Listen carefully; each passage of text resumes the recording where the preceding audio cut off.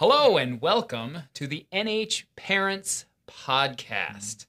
Um, this is our our podcast that we're titling hashtag goals. I didn't know we were going to put With a that Z. externally. I think- I think thought we're that gonna- was just internal communication. oh gosh. Do you? we can No, restart. I'm happy with it. Let's live with it. Why not? All right. Uh, yeah, we were we have been processing for the fall, and it's a goals game, right? It's all about uh, thinking through where you've been, what you've learned, and where you're headed. And so, um, you know, we're going to encourage you, parents of New Hope, to have those same conversations at the end. So brace yourself for that. Um, but let's let's start off right at the beginning here. Uh, my name's Leroy, and I am the pastor of kids community. So that's zero through fifth grade. Yep. And beside me, I have. I'm Nathan. I'm the pastor of student community, which is sixth through twelfth grade, and sometimes it gets a little, I don't know, obscure after that. I hang out with college students also. you- you don't shun them immediately. Yeah, I don't just like you're done, out, Out. graduation's over. I Yeah. am sorry. this is where this relationship ends. Yeah. Yeah, that's that's pretty cool. Mm-hmm. They're a fun bunch for sure. They're great. All right, so Yeah. A lot of this is all about this COVID season Mhm. that transformed everything. I know that it shook it shook what I do kind of to the foundations and asked um, caused us to ask all sorts of questions. So I thought we could first just talk a little bit about what we've been up to, so that we can kind of preface all of these things that we've learned and and, and where we're headed from there. So, um, do you want to start? Just talk a little bit about youth group Yeah, during the COVID we season. went. What were some of the things that happened? Well, I mean, yeah, my whole world definitely got shaken up. I got married, Right. went on my honeymoon to New Zealand. Beautiful place. Go if you can, if they'll ever let us back in. Um, but yeah, went to New Zealand, and then like, as we were like coming back, got the news like, oh, there's no church this Sunday, and like, oh, and so like went from this high moment to like two weeks of expecting sort of normalcy Right. to like a year and a half of nothing. Well, I mean, you're let you made it back in. We made it back in. Yeah, like it was so perfect. Like all that. if you ever want to talk about that, it was such a blessing for Sarah and myself. But yeah, it, it started out like I think most of us started out of two weeks to flatten the curve. Yeah, Like, we're yeah. gonna figure this out. and it was like 21 days. Yeah. We're like 21 days, and we'll get this Yeah. figured out. I remember driving uh, down the freeway. Uh, I think with my wife. It might have just been by myself. Who knows? But anyways, and just remarking of like, oh, it's been like a whole month since things have shut down. Like this is crazy. so weird. And how quick that month went. and it did. Like it's been like a super long yet super short blur of I don't know terrible. and then it became normal in Yeah. some weird way, and Yeah.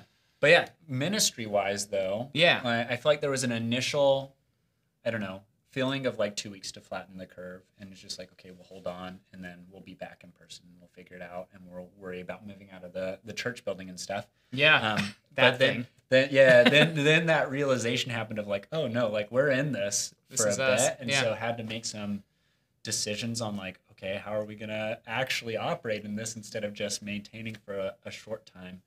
Uh, and we leaned heavily into online stuff, and Mhm. just not really knowing what else we could do. Like we weren't yeah, legally able to do much else, so we went heavy into that.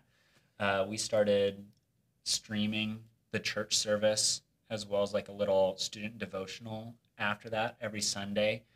Uh, initially, during the pandemic, we had Google Hangouts Monday through Thursday. you did a lot of hangouts. did a lot of Google because I had Monday, Wednesday was for middle schoolers, and Tuesday, Thursday was for high schoolers. And I, yeah, I guess my approach to it was sort of just like, this is like this is catastrophic thing going on. Like Yeah. sort of triage, like be Yeah. there Yeah. available at least as often as we can. Um, and then we'd also Twitch stream like playing video games with me and students right, online and stuff. just for connection. Yeah, sure. just for like connection and having some fun and levity together. Um, and that went fairly well for a bit. Uh, through the summer, I would say that went fairly Right, well through right. that first summer. Uh, and then school started up, Mhm. uh, and then they had multiple hours a day every day that they were expected to be on Zoom. Uh, and I've experienced this. I'm sure you've experienced this. Yes, I'm sure yes. most of you experienced this of just like Zoom Yeah. Of like, yeah, praise Jesus, we have this technology where we can connect, but like I am exhausted. Yeah. And so like, yeah, I didn't pressure any student ever to be online more than they were obligated to be. Cause like how could you? And Yeah. so yeah, we definitely dipped. So we we drew back how frequently we met on staff. Well, and Um, I saw this in youth groups all over the place. Everyone was Yeah. experiencing like I think that age group was hit really Mhm. hard Yeah. with that reality that it's just like I don't want to do church this way Yeah. at some point. And Yeah. and a lot of ch- and a lot of churches were pulling back and trying to reinvent youth group. That was tough. Yeah. And yeah, I I don't know of any that were like, this was awesome. Like, Like, this is did- the yeah, greatest thing. Th- there wasn't one sitting out there with the formula. Yeah, n- Yeah. and nobody. I don't. I don't know of any church. There may be one that has like weathered this Yeah. and has been like, yeah, we're gonna keep doing it that way. but it's like, no, No, this is the new not. way. So Yeah. good. But yeah. Yeah. Yeah, we um we responded pretty I, I think pretty quickly. My team was just Mhm. like all over it and we were really I really trying to answer the question of of like how do we help parents um Mhm. in and in churching during this time because um, a lot of them, you know, counted on at least that time of them attending church for their kids to have a program that specifically helped them, and then there there would be some separation there, right? So um, it's fine for a regular adult to say, "Oh, I'm just going to watch the online service on Sunday." It's a whole nother game. Mhm. You've got two or three or four little ones running around, or in my case, six. It's hilarious. Like Sure. Sundays was just bizarre. Yeah. And so that was that was a big call for us. And so we responded by yeah, putting out um, Sunday content that they could watch anytime that Mhm. weekend. So we, Yeah. we would usually post it on Fridays and they could watch it anytime after that, um, just for that flexibility uh, alone. And then we, we were really deliberate about um, those videos containing a lot of us. So um, Christine and Tabitha and myself were in like all of those videos because Yeah. we're just like, we want them to see yeah. the church and remember that we exist, Mhm. right? These little kids, um, that's some of their only relationships um, outside of the home. And then, and then it, we got thinking about just the the heaviness and responsibility that a lot of these parents were going through, um, and it was it was a real learning learning thing for myself on just like how am I being deliberate about the discipleship of my children at home, and now I have to. I can't pretend Yeah. somebody else is doing it anymore. Um, but that's a that's a huge step and it's a huge calling.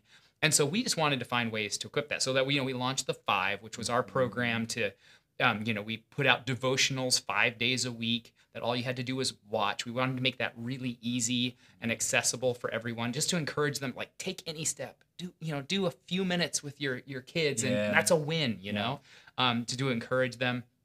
And then and then we um, we tried to have an in-person component where where Mhm. monthly they could come and pick up kits and Mhm. we'd throw candy at them and they could do their memory verses with us and and, and I had a really cool group of volunteers that basically did every one of those Yeah. pickup events so that they could see the kids Yeah. and spend a little bit of time with them because we really couldn't do much.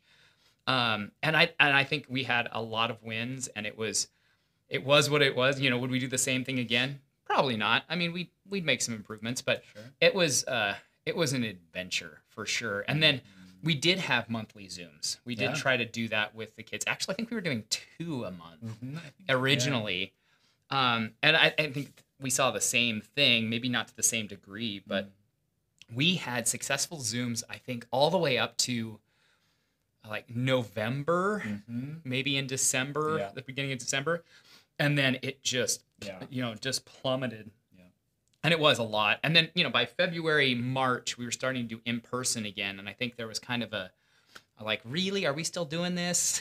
Is that really what we want to do? And um, so yeah, it was it was a good time to sit down and start reevaluating where we're going, and that's what this goals conversation Yeah. is all about. Um, so tell me uh, a few things that you've learned during Yeah. that process. Yeah, yeah, yeah. I think, yeah, I'll start off with the negative one. Yeah. Uh, and not negative in like some big way. Right, right. Just like I'm not an entertainer. like that's that's not my job. I thought you were gonna just use this as your launch point That to was- your YouTube initial- Twitch career. I feel like this is like a little too intimate of sharing, maybe, but like you get those like stupid little dreams in Those your head of, moments, like, you're like- of, like maybe I'll blow up, like maybe I'll, and I won't lie, like that. that We've all we happen, all want yeah. that. I know. I get you. well, Yeah. I don't know that I want that. Like, yeah, but, yeah, but I'm not an entertainer. Right? Yeah, And I shouldn't be. Like, yeah, if I that was what my energy was going towards, I should be in a different career. Right. it, Right. Like, Yeah. That's not what we're here to do. Uh-uh. Um, Yeah. Yeah. Hopefully, we're not overly boring. Like, hopefully, we're not. Yeah. It's okay to be entertaining. I think without selling out to like this is That's not the this thing. is the thing. That, yeah, yeah, right? that's not the thing. avoiding that. And so it definitely felt a bit like that, especially with the Twitch streams that we were doing, hmm where it was me on camera and the game on camera. And there was interaction still with Mhm. students there, but it's just like, yeah, just me doing this thing. It's like, this isn't what we're here for. Right. Uh, we're not here just to entertain. And we can't compete in that space. No, you will right? not win. We'll lose uh, and we'll make fools of ourselves doing it. Like, and I think lots of Yeah.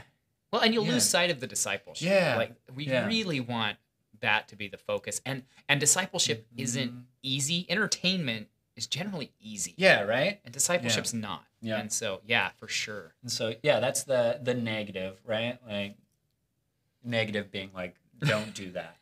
um, the Yeah. the more positive things that I've taken away from it is just I think a universal understanding of the need to be embodied with other people.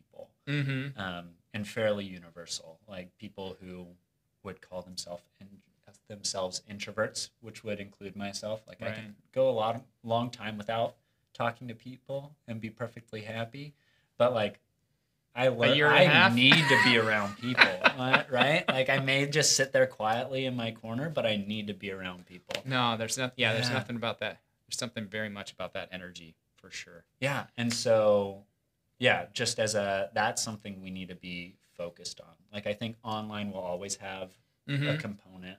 Well, I mean, until online becomes obsolete, and who knows what's Right. next. It's, it's Um, jacking directly into Yeah, our heads. yeah. yeah. But uh, but it's gonna be a component of just church stuff for a while, Yeah. uh, and we still have some of it. Uh, we started a Minecraft server for students Yeah. online, and like students still play on that regularly because Right. Minecraft's, Minecraft's great. forever. and like that that's one of the cool things that's come from it is like students who never really talked to each other ever before like they organize their own little google hangouts and stuff to play minecraft together okay. server? Yeah. and so yeah it's just super fun like that these students have like become friends God, it has evolved. yeah It's taken its own life. That's yeah and that's so really cool. it will be a component but like it's not going to be yeah. the thing. Praise Jesus. Um, and then the other one is coming out of this season where I don't know. The church talks a lot about like it's not the building, and Yeah. it's not the staff, like it's all of us. Yes. Um, yes. and I think we believe that, and I think we put energy into that. But yeah, at the end of the day, sometimes it is just easier for me to just get the job done Right. and not invite. Easy, yeah, it, it is easier. It's simpler for sure. And so, yeah, just the coming out of a season where the only option for people has been to be spectators. Um, like you couldn't participate really no, if you not wanted well. to, right? Yeah. Like you can enter the chat and that's about it.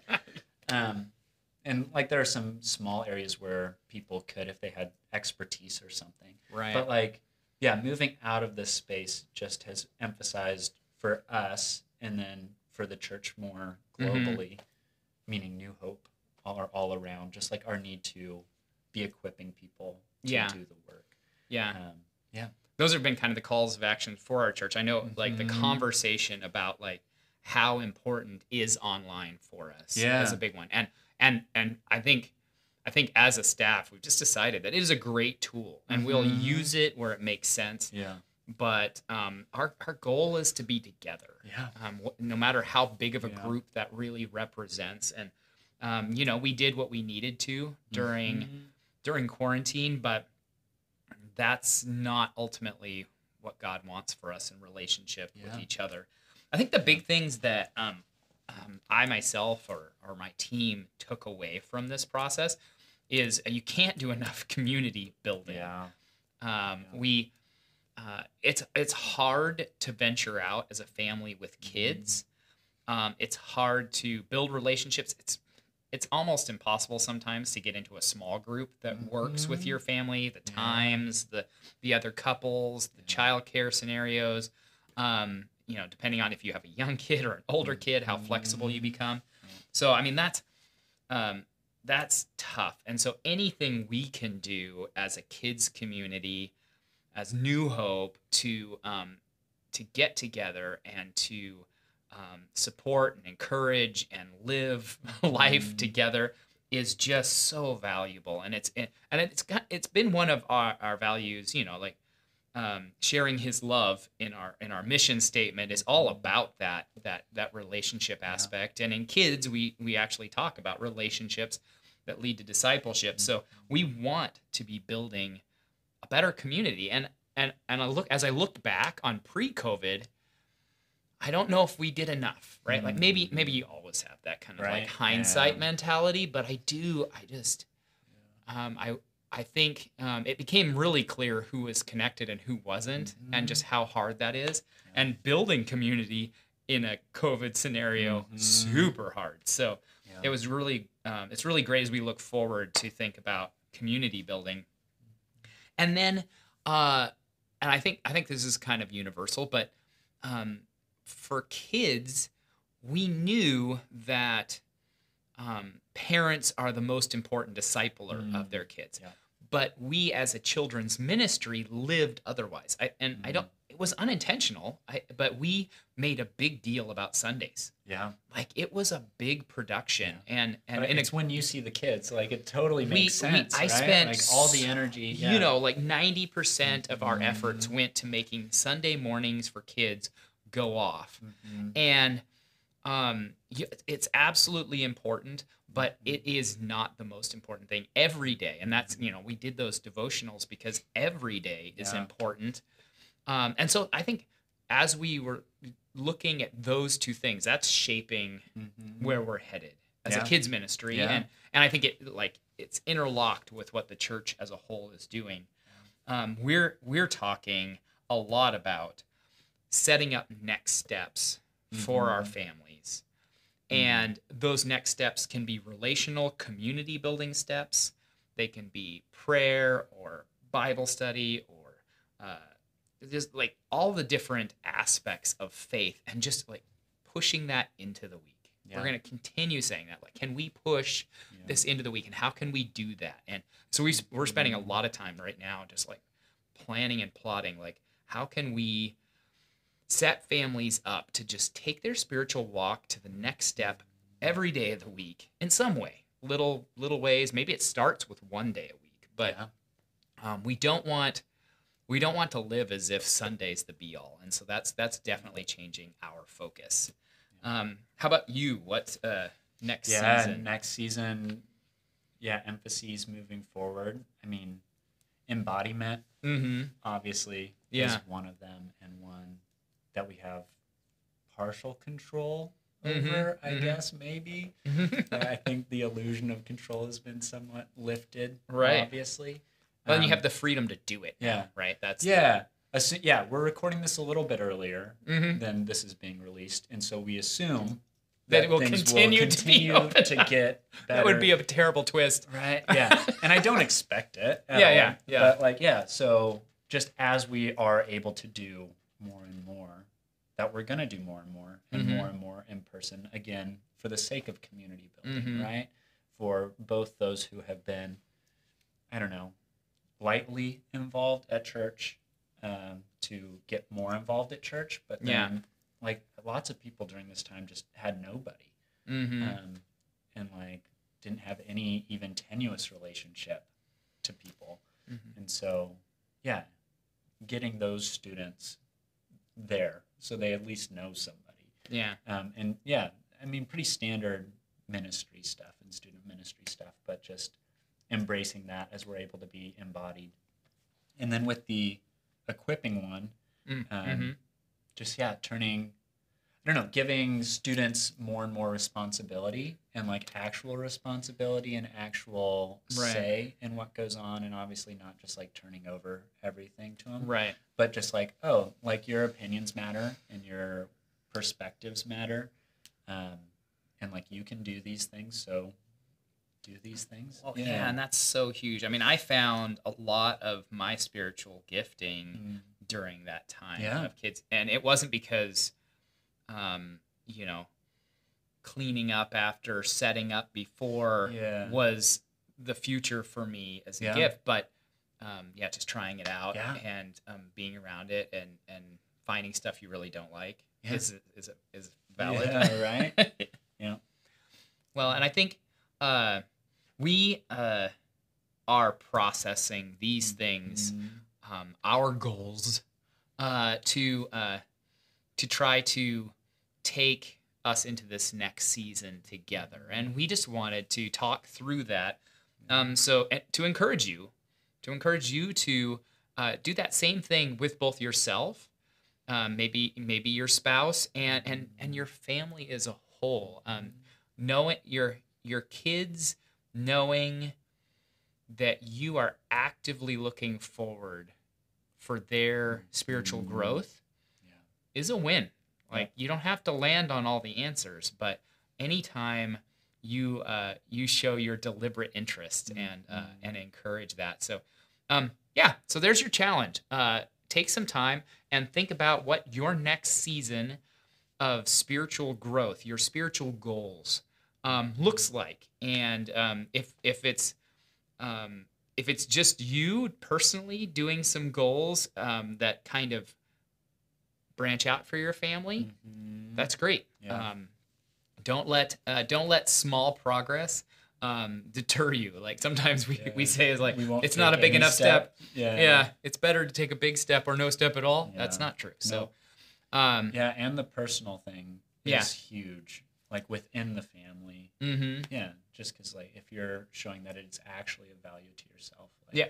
Yeah. It, it doesn't have to start out as like a we're all getting together. and right, right. thing. I think that's what I was yeah, Yeah, yeah, trying to yeah. get at. Right, is, is sure. if you set some goals for yourself, you can share those and be like, these are my, this Mhm. is the way I want to do it. And just modeling for now. Modeling is enough too. So whatever the next step, whatever small step that may be, um, take it. And we, uh, we just want to encourage you and we will uh, see you around. Thanks for listening. And Yeah. we'll check you out next month. Yeah. All right. Bye.